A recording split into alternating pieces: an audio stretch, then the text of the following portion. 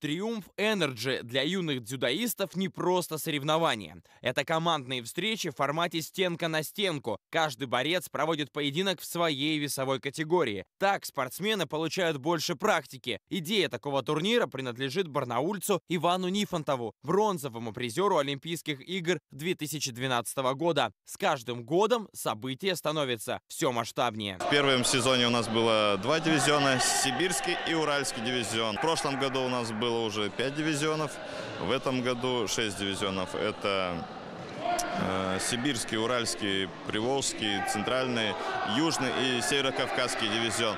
Но команды представляют и Дальневосточный федеральный округ, и с э, северо-западного федерального округа. То есть по факту охват у нас э, со всей России.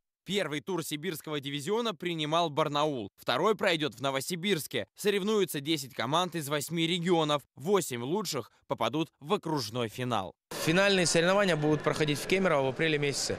Э, И после уже э, будет выявлена команда победительница Сибирского округа, которая уже едет на финал России. Алтайский край представляют три коллектива. «Спарта», спортшкола Олимпийского резерва из Барнаула, а также Бийская спортшкола номер три.